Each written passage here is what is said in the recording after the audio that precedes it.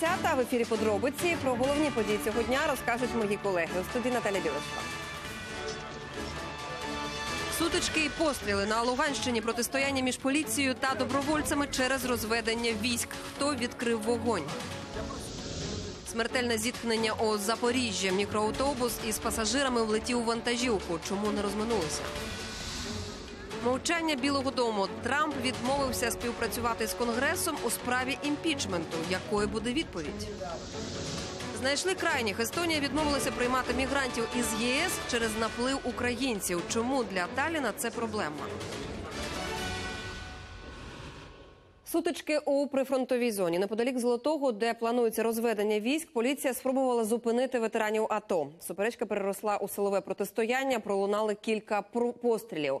Про подробиці цього інциденту розкаже Руслан Сміщук. Він на зв'язку із Луганщини.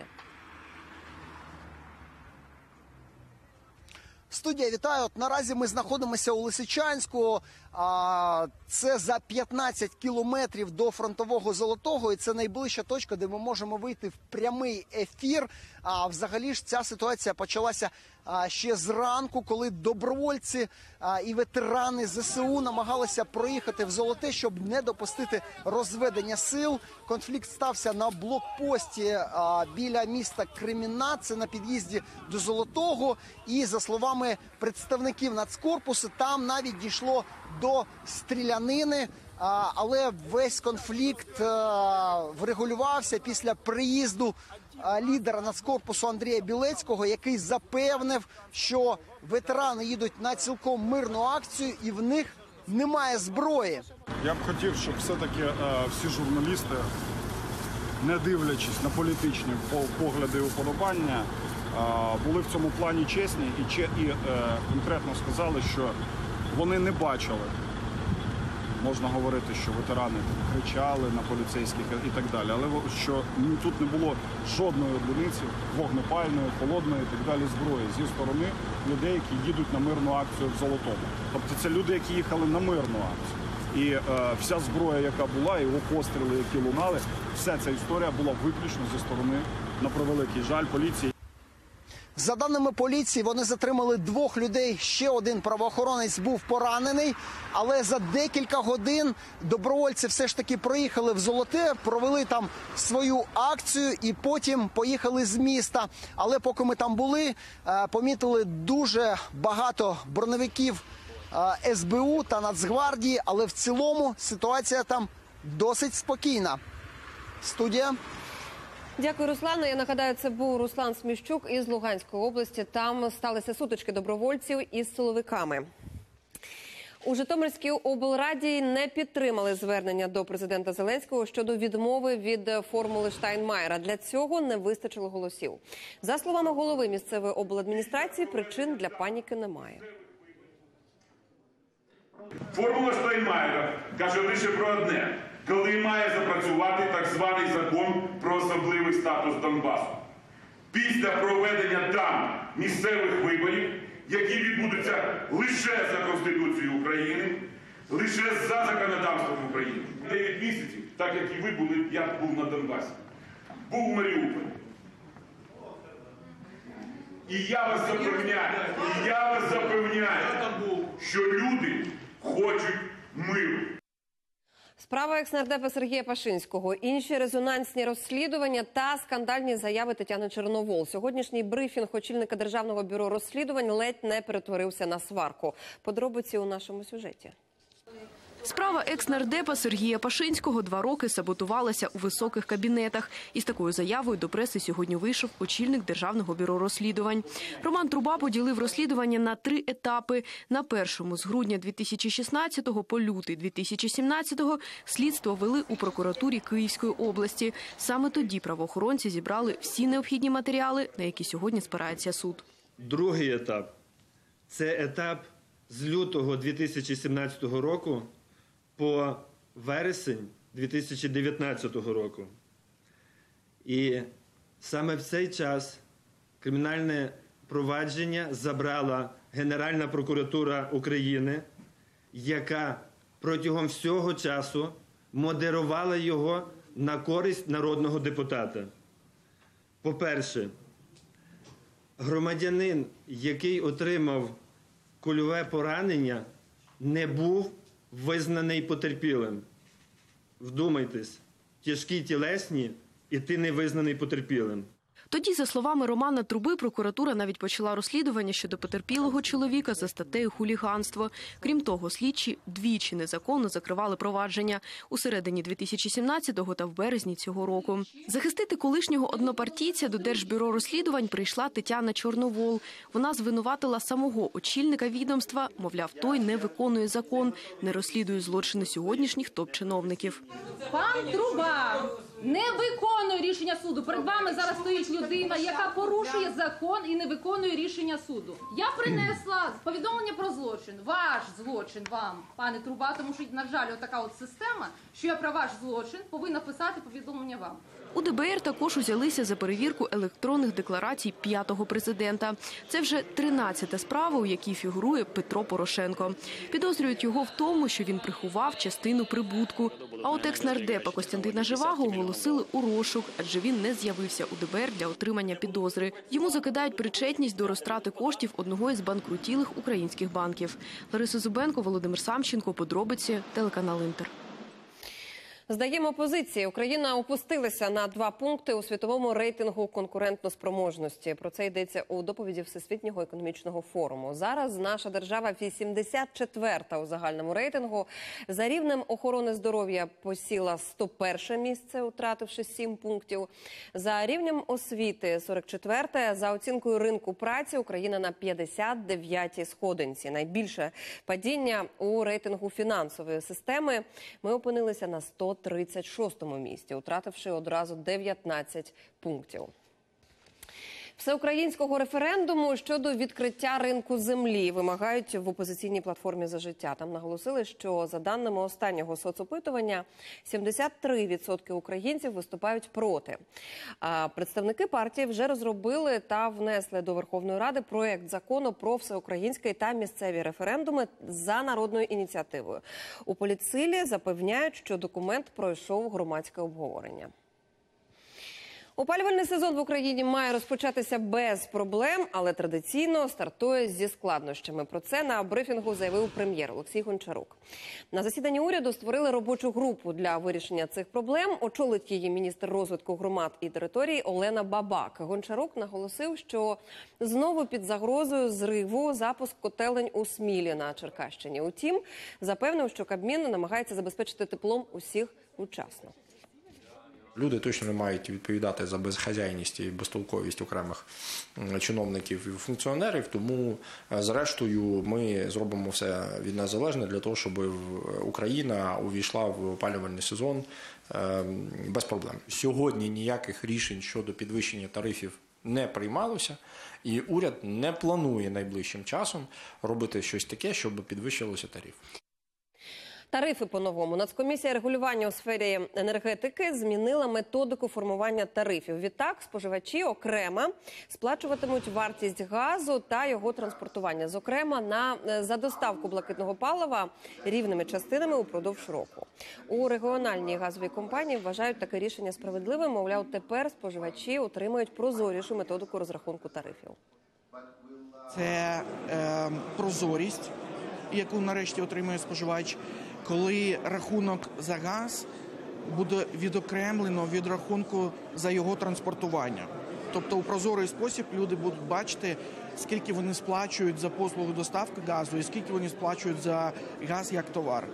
Ну і е, нарешті е, ще одна приємна річ.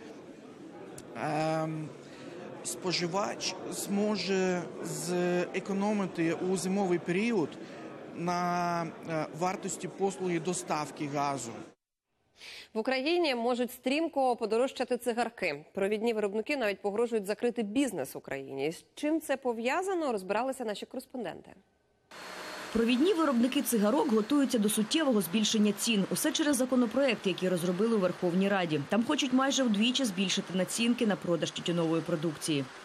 З 1 січня також підвищується акциз. А отже, протягом наступних трьох місяців пачка цигарок подорожчає у середньому на 14 гривень, тобто більш ніж на 40%. Представники бізнесу закликають владу терміново переглянути законопроект 1049. Тут наголошують, документ не відповідає міжнародним нормам та значно погіршить бізнес-клімат в країні. Встановлення фіксованої націнки неприйнятне у розвинених країнах і протирічить зобов'язанням України перед всесвітньою торговельною організацією. Ці правки прийняті у неправомірний спосіб, ставлять під загрозу ведення нашого бізнесу в Україні. А це ризик втратити роботу для понад 50 тисяч українців, наголошують виробники. Ми дуже стурбовані щодо наших інвестицій і посад понад 50 тисяч людей, які прямо чи опосередковано зайняті в цьому бізнесі. Дуже багато людей живуть за рахунок наших інвестицій, і ми маємо захистити їх. У 2019-му уряд уже недоотримав 9 мільярдів гривень надходжень від тютюнового ринку. Якщо така практика продовжуватиметься, тіньова торгівля може зрости до 20%, а держава втрачатиме мільярди. Це вже не перший скандал на тютюновому ринку України. Раніше антимонопольний комітет звинуватив провідних виробників цигарок у змові, начебто з метою недопуску на ринок інших компаній, окрім дистриб'ютора Тедіс. Виробники звинувачення відкидають. Я не можу коментувати справу, оскільки досі триває розслідування. Ми співпрацюємо з компанією Тедіс, оскільки це законний бізнес, що працює в правовому полі України. Наразі ми розповсюджуємо нашу продукцію не лише через Тедіс. Ця компанія займає десь 60% ринку. Ми маємо з ними дуже прозору бізнес-модель. Тедіс це компанія, що працює в правовому полі і є крупним платником податків. Ми успішно працюємо за тією ж бізнес-моделлю у багатьох інших країнах. Якщо уряд хоче змінити це, як нам здається, то можу зазначити, ми відкриті до лібералізації ринку. Нині на Тедіс припадає до 75% обсягу нашої продукції. Ми співпрацюємо ще з 20 іншими дистриб'юторами. Впевнений, що інвестиційний клімат має бути відкритим, прозорим. Повинен бути діалог з представниками бізнесу, що діють у правовому полі. Напередодні окружний адміністративний суд Києва заборонив АМКУ накладати штраф на компанії, які фігурують у цій справі. До розгляду судом позову від компанії Тедіс до комітету з приводу процесуальних порушень. Оксана Григорєва, Леоніда Борін. Подробиці. Телеканал Інтер. Уряд скасує трудові книжки. Про це на своїй сторінці у Фейсбуці повідомив міністр кабінету міністрів Дмитро Дубілет. Він заявив, що уряд починає роботу над відповідним законопроектом. Якщо парламент підтримає ініціативу, то громадяни будуть не зобов'язані надавати роботодавцю документ про свій стаж. Водночас, за бажанням, вони зможуть і далі фіксувати свої трудові будні на папері, і відмовити їм у цьому не мають права. У рівному правоохоронець застрелився під час служби. Тіло інспектора знайшли колеги. Вони прибігли на звук пострілу та нічого вдіяти вже не могли. Що відомо про цю трагедію, е, розкажуть мої колеги. Трагедія сталася в міському відділі поліції Рівного. Інспектор перебував на зміні в черговій частині. Колеги розповіли, чоловік пішов у підсобку, і о пів на четверту ранку вони почули постріл. Стабельної вогнепальної зброї здійснив постріл в праву скроню, внаслідок чого загинув на місці подій. Виявлено одну кулю, одну гільзу. Попередньо слідчі кваліфікували справу як самогубство. Загиблого правоохоронця звали Юрій Семак. Йому було 33 роки. Працював у нас е, з листопада 2014 року. Він прийшов з Державної служби охорони. У 2017 році він було при- призначено інспектором чергової частини відділу Рівненського відділу поліції. За цей період служби проходження він характеризувався з позитивної сторони. Робота Юрія полягала в реєстрації повідомлень і заяв про скоєння злочинів. Потім він передавав цю інформацію нарядам поліції. Керівництво запевняє, зауважень до його роботи не мали. Хлопець служив в АТО. Напередодні трагедії нікому не скаржився. Ми поспілкувалися про умови, яких що можливо його турбувало. Вони теж е, якби запевняють, що на побутовому ґрунті в їх якби проблем не було. Таких ознак явних, які би нас наштовхували на те, щоб помітити в його поведінці щось турботливе, не було. Чому старший лейтенант вирішив застрелитися, з'ясовують слідчі. Передсмертної записки він не залишив.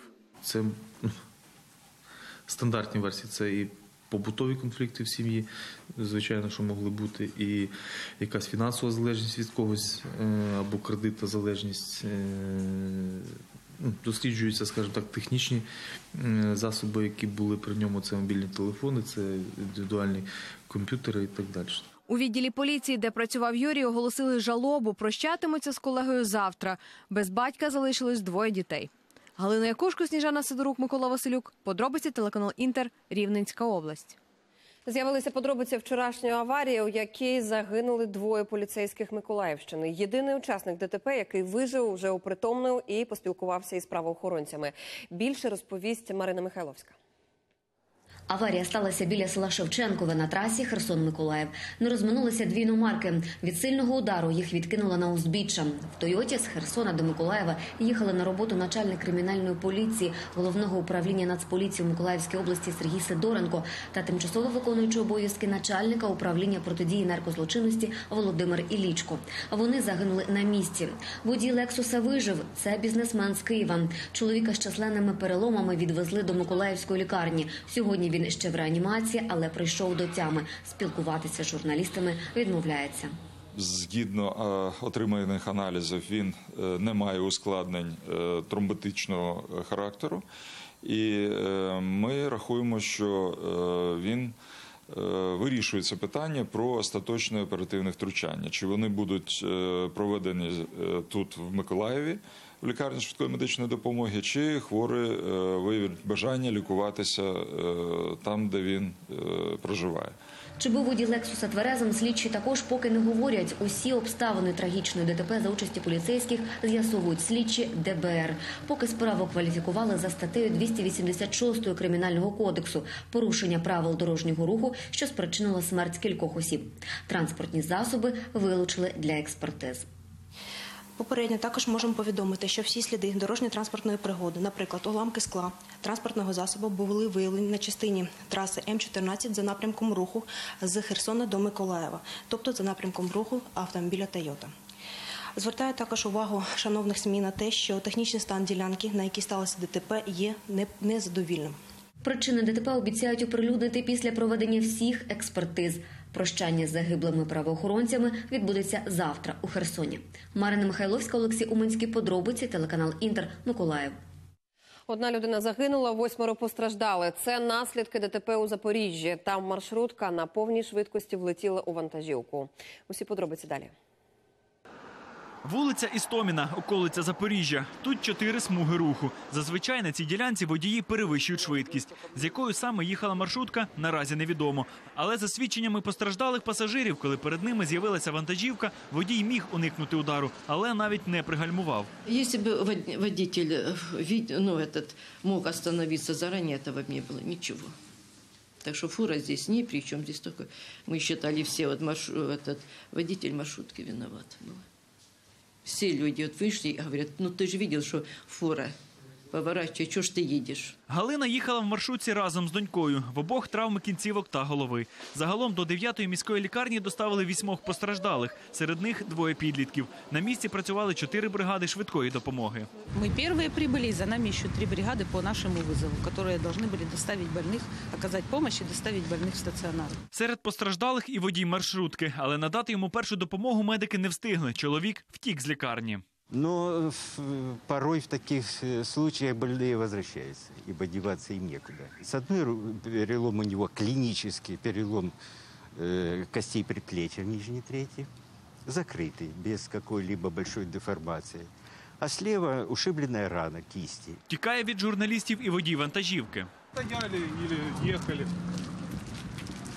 Що стало причиною ДТП, будуть з'ясовувати слідчі. В управлінні міського транспорту кажуть, нарікань до перевізника до цього моменту не було. Зранку водій пройшов медогляд, а автобус ТО. Я вам більше скажу, 1 жовтня у нас почався місячник безпеки дорожнього руху. Тільки провели з перевізниками разом з поліцією провели нараду, де були проведені додаткові інструктажі з водіями. Тобто зараз якраз триває місячник. Якщо з'ясують, що в смертельному ДТП, де восьмеро постраждалих і один загиблий винен водій автобусу, з перевізником розірвуть договір. Але спочатку хочуть поговорити з водієм маршрутки. Поліція вже його розшукує. Артем Антоненко, Сергій Бордюжа, Ігор Воробій. Подробиці, телеканал Інтер, Запоріжжя.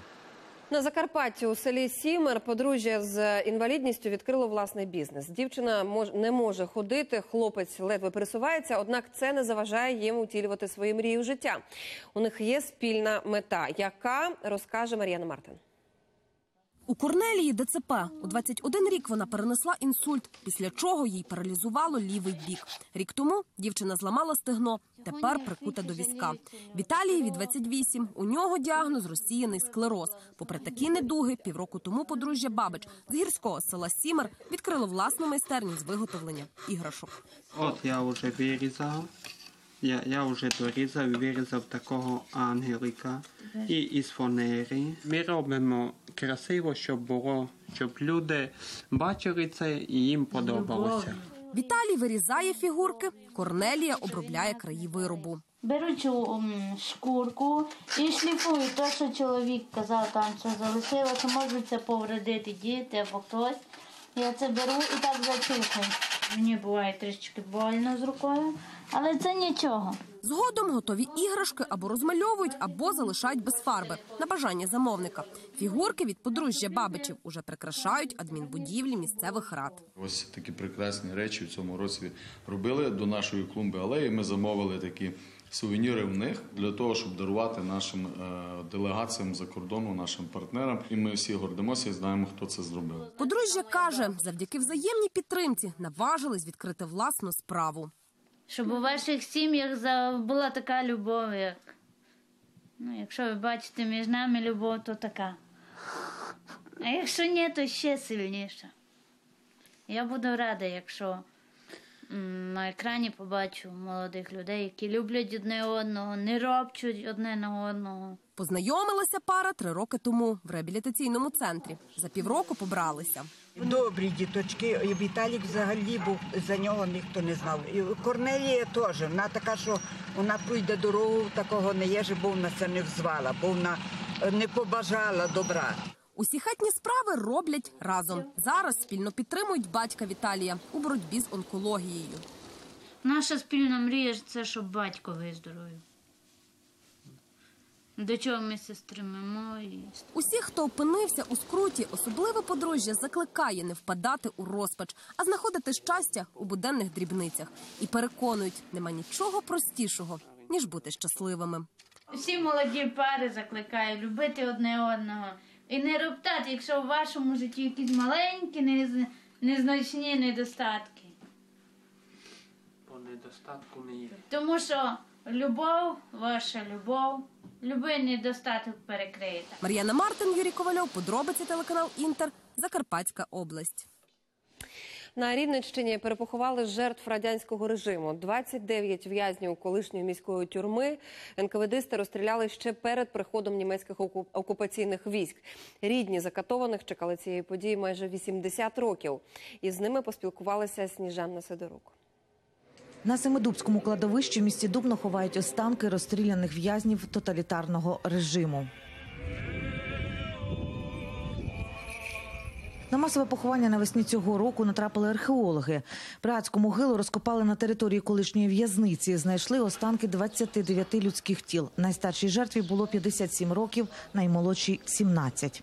Є семеро жінок, решта є чоловіки різного віку, як старшого, так і молодшого віку. Також є супровідний матеріал, який дозволяє стверджувати про те, що це були цивільні мешканці. Це були віднайдені особисті речі, гребенці, е, взуття. Майже 80 років тому Народний комісаріат внутрішніх справ облаштував тут катівню. Розстрілювали засуджених у підвальних камерах. Людина заходила вперед, йшла до тої стіни, поки вона рухалась до неї, за нею йшов кат, який робив постріл в потилицю. Перепоховання рідні жертв чекали десятиліттями. В Олега Поровчука в Дубинській тюрмі жорстоко вбили батька. Про страшну трагедію знає з розповідей матері. Коли почалися розстріли в цій тюрмі, а він сидів е, в цьому корпусі південному, який над річкою, і е, там його розстріляли. Розстріляли, як і всіх інших в'язнів. Повідомили жителі знайомі е, з вулиці Садової, яка коло тюрми, що така подія, і дідусь поїхав, е, забрав тіло мого тата і поховали його в Дубні. На колишній тюремній стіні меморіальна дошка наніс десяток прізвищ закатованих. Переважна більшість жертв українці, але історикам відомо також про вбитих поляків та євреїв. Точна кількість жертв і донині невідома. Радянські карателі знищили всі архіви. Ідентифікованих маємо 41 особу. Цей обнародував я цей список сьогодні е, цих людей. Е, А крім того, ще маємо 44 особи, які напевне вже теж ми знаємо, що вони були вбиті тоді в Дубинській тюрмі, але ми маємо ще їх перепровірити. Тобто, це буде десь близько 100 осіб, яких ми знаємо сьогодні на ім'я. Е, Ну а якщо говорити за загальну кількість, то ми можемо тільки ну, оціночно судити, скільки було вбито. Це було десь 250-300 осіб, які були вбиті. На місці поховання планують встановити пам'ятний меморіал та облаштувати алею слави. Останки тіл політв'язнів шукатимуть і далі. Сніжана Сидорук, Микола Василюк, подробиці телеканал Інтер, Рівненська область.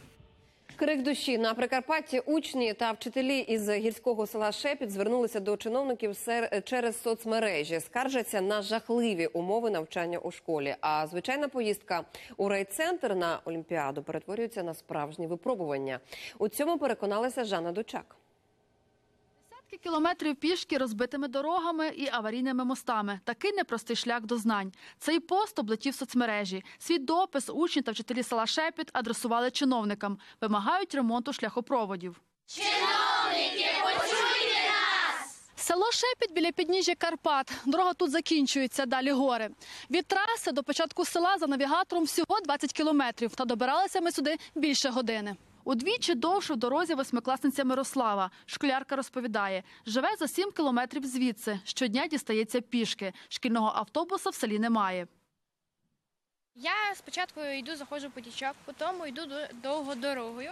Вона йде в долину, і дорога з камінням. Дуже тяжко йти, тому що можеш пасти. Таких, як Мирослава, у Шепітській школі близько двох сотень. Для високогірного села така кількість учнів – рідкість. Домівки розкидані по схилах, тож діти дістаються з школи годинами. З інфраструктури хіба що гірські стежки. Я йду десь три години. І дорога така ну, лиха. І через гулки там ну, є каміння, і вони так валюються. Треба скоро перебігати, можуть, можуть упасти каміння. Ідея розмістити в соцмережі допис із фотографією на аварійній переправі виникла під час шкільної екскурсії, розповідають учні. Того дня вони їхали на районний екофестиваль, і їхня машина ледь не провалилася на дірявому мосту. І нам було страшно його переїхати, переходити. І у нас виникла спонтанна ідея е, це звернутися до чиновників, щоб вони е, якось нас почули, е, бо тому що це дуже важкі умови. На ремонт селяни чекають роками, втім марно. Тож діри на мосту залатали самотужки. Кажуть, це ненадовго. Покриття дерев'яне і швидко псується. Якщо місто обвалиться, село буде відрізане від світу. Дірки утворюються, гниють, там поміняли, в другому місці утворюються постійно то саме. І своїми селами воно може тиждень стояти, автобус не їде, нічого ніхто не буде. Тільки своїми селами беремо, ріжемо це дерево і самі міняємо. Шепітська школа теж у занедбаному стані. Єдиний в районі навчальний заклад без доступу до інтернету. Приміщення їдальні може завалитися будь-якої миті, туалети на вулиці. Цього року була мова навіть на рівні області. Там приймали рішення на рівні обласної ради, щоб покращити стан е, вбиралень. Мені просто повідомили, що наша школа до того переліку не увійшла. Село знаходиться в такому глухому гірському куті. Сюди мало хто заїжджає, бо погані дороги, як і будь-хто. І влада так само. І дуже часто обділяють. Та районні чиновники кажуть, проблема в нестачі коштів. Ми кошториси подали на всі, на всі вбиральні по району. В області вибрали тільки вісім. Чотири ці школи не, не включили. По причинах, по причинах е, Не пояснили. не пояснили так. Чи коштів немає. Ну, кошти ви- чули. ну, Стояли кошти з квітня місяця, і дотепер ще ніхто не почав робити. Звернення учнів чиновники вже читали. Цього тижня планують навідатися в село для обстеження аварійного мосту. Грошей на його ремонт в районі поки що немає, але проситимуть допомоги в області. Жанна Дучак, Зновя Танас, подробиці телеканал Інтер Івано-Франківська область. Віряни Української православної церкви звернулися до президента Зеленського. Вони заявляють про активізацію церковного рейдерства у регіонах і просять втрутитися. Зокрема, йдеться про релігійну громаду Луки Мелешківської у Винницькій області. У зверненні сказано, що невідомі молодики намагаються е, опечатати єдиний у селі храм. Під час богослужіння, якраз на божественній літургії, мені дзвонять і кажуть, що батюшка під церквою якихось 12 чоловік, сугубо чоловік, спортивного цієї зросту, ну, статури, ходять по подвір'ї. Їх зібралося е, чоловік 30 чи скільки там.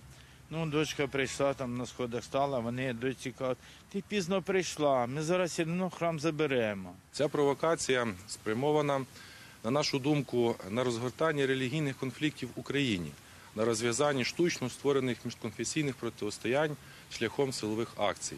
Одночасно звертаємо вашу увагу на те, що незаконна реєстрація зміни підлеглості релігійної громади Преображенського храму село Лука Мелешківська Вінницького району Вінницької єпархії УПЦ є предметом розгляду у ряді судових проваджень.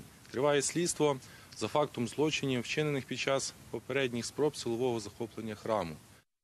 Безнадійна Джонсона у Британії намагаються зупинити Брекзит через суд. Які шанси про це після реклами? Дочекайтеся.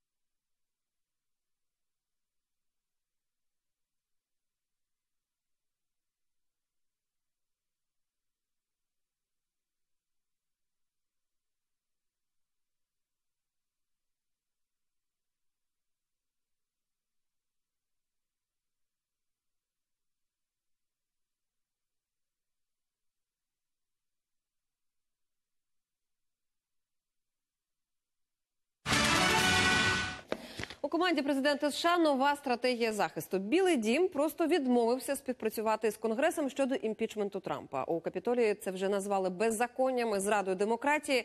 Як усе розвиватиметься далі у Вашингтоні? У цьому розбира- розбирався Дмитро Онопченко. У Білому домі довго шукали стратегію, як ефективніше діяти в умовах, коли конгресмени готують імпічмент, і ухвалили несподіване рішення взагалі відмовитися від співпраці з демократами, не відповідати на запити, не надавати документи у зв'язку з тим, що сам імпічмент, начебто, політично вмотивований. Прес-секретар Білого Дому Стефані Грішем розповсюдила заяву, в якій йдеться. Демократи в конгресі переслідують суто політичні цілі, намагаються вплинути на підсумки президентських виборів 2020 року. Тому в цьому цитую політичному театрі органи виконавчої влади брати участі не будуть. Такого в історії країни ще не було. Конгрес не звик, щоб йому відмовляли, та ще й так жорстко. Спікер нижньої палати Ненсі Пелосі шокована. Вважає, що таке рішення Трампа загрожує тепер вже національній безпеці, і розповсюдила заяву, назвавши це спробою приховати зраду демократії. Президент намагається запровадити беззаконня. Лист Білого Дому це одна з останніх спроб приховати зраду демократії, показати, що президент стоїть над законом. Пане президенте, ви не вище закону. Вас притягнуть до відповідальності. Трохи пізніше в Білому домі все ж пояснили пресі, як саме будуть діяти. Виявилося, оскільки вважають саму процедуру незаконною, відмовляються ходити навіть на засідання конгресових комітетів за повістками і всім чиновникам заборонять. А ще не надаватимуть палаті представників жодних документів, що стосуються обставин розмови Трампа і Зеленського. І на фоні того, що відбувається, все більше американців підтримують імпічмент Трампа. У всякому разі про це свідчать дані свіжих соцопитувань, які спільно замовили газета Wall Street Journal і телекомпанія ABC. Е, 55% опитаних сказали соціологам, що підтримують дії демократів щодо відсторонення Трампа від влади. При цьому 24% з них вважають, що вже достатньо підстав для імпічменту. Е, 39% жителів країни кажуть, конгрес не повинен втручатися. Імпічмент не потрібен. Мовляв, американці самі на виборах через рік мають визначитися, залишатися Трампу при владі чи ні. При цьому громадська думка змінюється залежно від фактів, які з'являються в пресі, і один з них здатний багато чого змінити, якщо з'являться докази. Преса з'ясувала, автор першої скарги на Трампа, його особу, як і раніше тримають в секреті, нібито пов'язаний з одним із кандидатів в президенти США від демократів. Але з ким саме поки загадка. З Вашингтона Дмитро Анопченко, Сергій Коваль, американське бюро телеканалу Інтер. Туреччина розпочала бомбардування Сирії. Кілька потужних вибухів сколихнули місто Рас Ель Айн поблизу турецького кордону. Одночасно з початком авіанальоту президент Реджеп Ердоган оголосив про старт спецоперації Джерело миру проти сирійських курдів, яких Анкара вважає терористами. Мета воєнної кампанії відтіснити курдські збройні загони від турецького кордону із залученням наземних та повітряних сил. Президент Єврокомісії Жан-Клод Юнкер закликав Туреччину зупинити воєнну операцію у Сирії. У НАТО також заявили, що очікують від Анкари стриманості, щоб уникнути подальшої дестабілізації у регіоні. Дії турків також засудили Німеччина, Франція та Велика Британія. Вони скликають засідання Ради безпеки ООН із цього питання. Черговий суд проти британського прем'єр-міністра Бориса Джонсона хочуть змусити просити у Євросоюза відтермінування Брекзиту. Що постановили судді, і чи коритиметься закону прем'єр Британії, розповість Світлана Чернецька. Вона у Лондоні. І знову вся увага прикута до шотландського суду. І знову в центрі справи британський прем'єр-міністр. Позов проти Бориса Джонсона подали бізнесмен, юрист та депутат. Вони не вірять, що прем'єр виконає закон і попросить Європу про відстрочку Брекзиту. Тож просять суд зробити це за нього. Втім, судді вважають, що це передчасно. Зазвичай рішення виноситься у випадку, коли сторона не виконала зобов'язання, установлений законом термін. У цьому випадку невідомо, чи взагалі необхідно буде прем'єр-міністрові коли-небудь відправляти листа із запитом про відтермінування, адже британський уряд та ЄС можуть досягти угоди, або парламент може дати дозвіл на вихід без угоди. Суд постановив провести засідання 21 жовтня. До того часу доля Брекзиту стане зрозумілою. У позивачів справді є всі підстави непокоїтись, адже прем'єр не приховує, не збирається відкладати вихід країни з ЄС. У цьому запевнив і президента Європарламенту. Девід Сасолі відвідав Джонсона у резиденції на Даунінг-стрит 10. Європейський парламент відкритий для можливості відтермінування Брекзиту, якщо для цього є поважні причини чи конкретні конкретні цілі, але просити про відстрочку має Велика Британія. Це її відповідальність та прерогатива. Я продовжую вірити, що здоровий глузд переможе. Дедалі менше часу залишається, щоб домовитися про умови розлучення. Лондон висунув остаточні пропозиції щодо угоди з Брекзиту, та Брюссель не поспішає їх приймати. Ми запропонували дуже чесний та обґрунтований компроміс для усіх сторін. Ми чимось поступилися, і я сподіваюся, що ЄС теж погодиться поступитися. Якщо так станеться, є шанс, що ми залишимо ЄС з угодою. Наступні дні вирішальні. Лондон та Брюссель проводять перемовини нон-стоп. Вже наступного четверга відбудеться саміт лідерів ЄС, де ухвалять остаточне рішення щодо Брекзиту. Варіантів розвитку подій усього три. Найбажаніший для усіх сторін це розлучення полюбовне, тобто з угодою. Другий варіант це перенесення виходу на пізнішу дату. І третій, найгірший варіант це розірвання стосунків без жодних домовленостей, так званий жорсткий Брекзит. Світлана Чернецька, Юрій Романюк. Подробиці британське бюро телеканалу Інтер. Естонія відмовилася приймати біженців із близького сходу через наплив мігрантів з України. Про це після засідання ради міністрів внутрішніх справ заявив очільник естонського МВС. Його аргументи чула Олена Абрамович. Євросоюз знову не зміг домовитись про нову систему розподілу біженців. Рада міністрів внутрішніх справ ЄС завершилась безрезультатно. В кожної країни були свої виправдання. Естонія, наприклад, відмовилась брати участь у запропонованій схемі квот, запевняючи, що й так має вдосталь мігрантів. Я зазначив у своєму виступі, що ми розуміємо ці країни, але наші можливості приймати прохачів притулку взагалі ніхто не бере до уваги. Я не долучатимусь до цієї ініціативи ані формальна, ані неформальна, але ми готові проявити солідарність у вигляді технічної та експертної допомоги. Естонія наразі має справу з прохачами притулку не так з близького сходу чи Африки, як з України, зауважив міністр. На другому місці Грузія, далі Молдова і лише потім Афганістан та інші країни. Тоді як, наприклад, Чехія та Польща віддають перевагу слов'янським мігрантам, естонцям із цим непросто. Ми зараз відчуваємо імміграційний тиск, але це не всі розуміють. Українці швидше інтегруються в російськомовну громаду. А для нас це культурна і демографічна проблема. Навіть якщо хтось каже, що це перевага, то насправді це дуже серйозна проблема. Естонія намагається позбутися впливу Росії а зі збільшенням частки російськомовного населення робити це дедалі складніше. До того ж, це дорого, зазначив міністр. Чимало коштів з бюджету доводиться виділяти на додаткових вчителів, які допомагають адаптуватися українським дітям. Постає й питання матеріальної допомоги, тому жодних мігрантів за квотами ЄС Естонія приймати не планує. Олена Абрамович, Олексій Шматов. Подробиці Європейське бюро телеканалу Інтер. Кліматична блокада у Європі тривають масові протести екологічного радикального руху повстання проти вимирання. Як проходять акції у Берліні та Лондоні, розкаже Тетяна Логунова. В урядовому кварталі Берліна сплять, читають, їдять і співають. Сьогодні вночі сотні екоактивістів облаштували табір у самому центрі міста і взяли в облогу один із ключових мостів Маршал-Брюке. Кращого місця, щоб акцію протесту помітили політики, годі й шукати. У цьому кварталі розташовані Бундестаг, парламентські комітети, кілька міністерств і офіс канцлера Німеччини Ангели Меркель. Канцлер якраз сьогодні проводила засідання уряду, на якому міністри керівної коаліції остаточно ухвалили так званий кліматичний пакет програму заходів, які допоможуть скоротити викиди парникових газів. Втім, активісти руху повстання проти вимирання стверджують, цього недостатньо. Ми хочемо, щоб уряд сказав правду про екологічну катастрофу, яку ми наразі переживаємо, і від якої вже страждають мільйони. Ми вимагаємо, щоб політики скасували усі закони, які шкодять клімату.